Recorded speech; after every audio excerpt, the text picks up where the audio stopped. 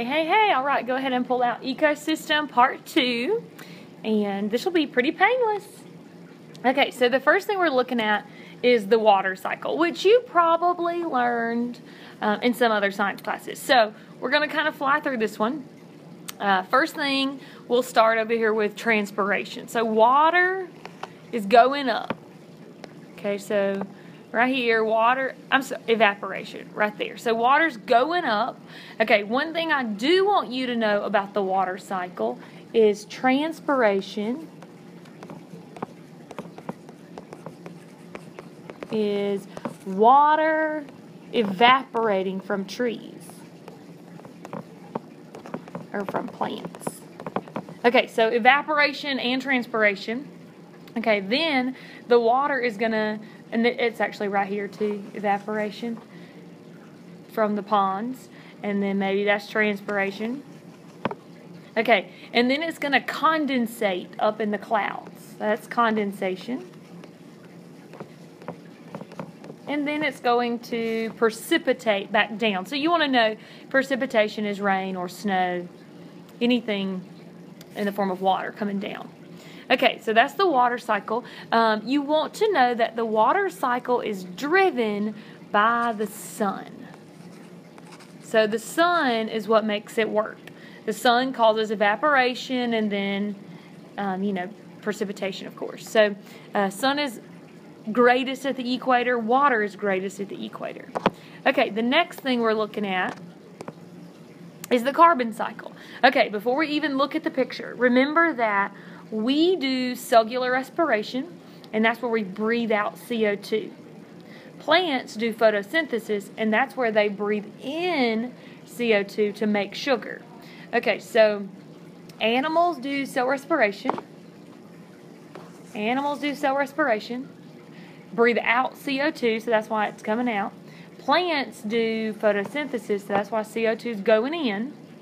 And then also burning anything, burning wood, burning uh, gas in your car, burning of fossil fuels releases CO2. The burning of fossil fuels releases CO2. Okay, decomposing animals and plants releases CO2. Okay, so releases CO2 is going to be fossil fuels, decomposition, animals. What takes in CO2 is going to be autotrophs or plants. Autotrophs take in CO2 and make sugar and that is the carbon cycle. Okay, nitrogen cycle. Probably the hardest one, and actually, I'm going to draw it out for you. Okay, so flip over your paper and let's draw this one, because in my opinion, it's harder. Okay, so we got a tree, and it'll be most appropriate if I did this right.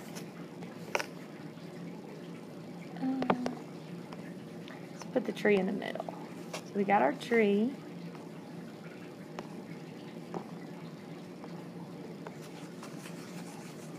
Okay, so most of the nitrogen on the planet is in the air in the form of nitrogen gas. Now, that's no good to us. We breathe in nitrogen gas, we breathe it out. The oxygen, I'm sorry, the nitrogen in air is of no good to us. So, there's some bacteria that take this nitrogen gas and they make it into NH4. They they really they eat the nitrogen gas and that's what they excrete as waste. So they excrete as waste um, this NH4. So it says in your notes, uh, the majority of the nitrogen is removed by the air. So that's what we've drawn.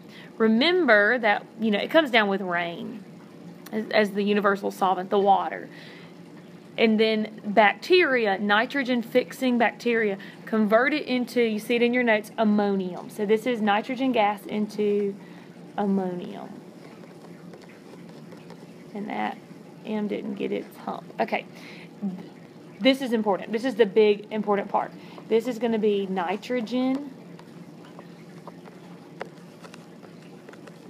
fixing bacteria. Let's see.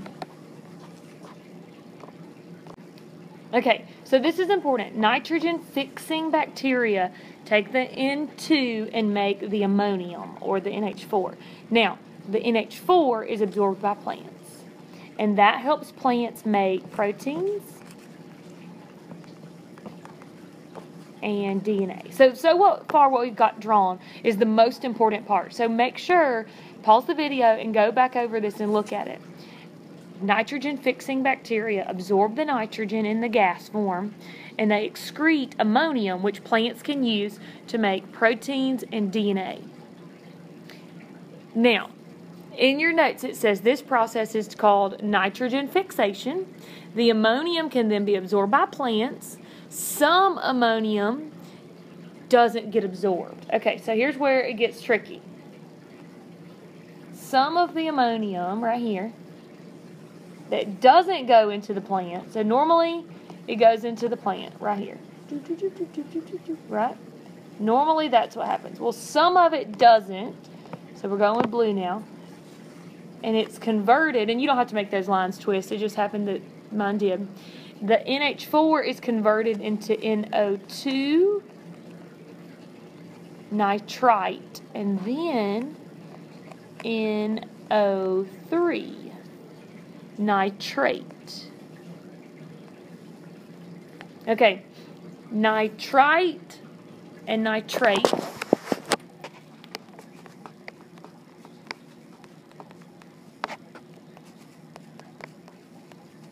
Okay, nitrite is not able to be used by plants, but nitrate is. And so we'll go back with purple here. Nitrate can also be absorbed. What isn't absorbed goes back into nitrogen gas, and that's called denitrification.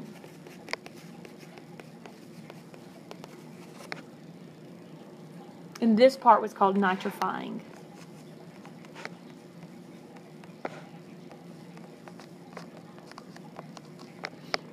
Okay, so what two forms can plants take up? They can take in ammonium and they can take up nitrate. Okay, so pause the video and study this one for a second because this one is hard. And you do want to know some key things that bacteria and DNA are what the plant need it for. You too, that's what you need it for too.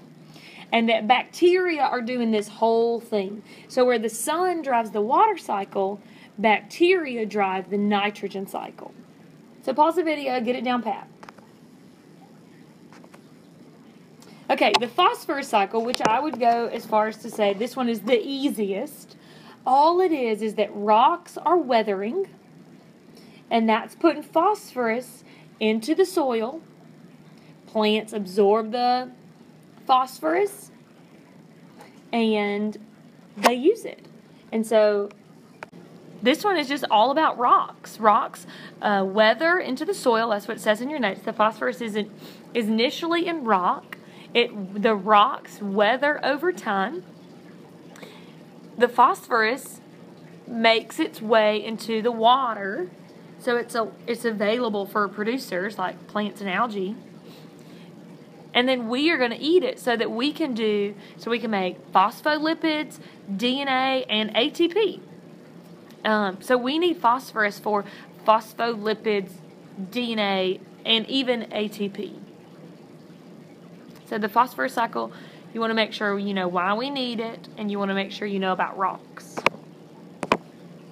Okay, and then the last thing, um, how does temperature affect these cycling rates? The higher the temperature, the, the faster all these cycles can go, such as in the rainforest. The lower the temperature, then it's going to be slower, like in the tundra. And so, um, take a minute and look at all these cycles again. Make sure you got them down pat. And I hope this was helpful.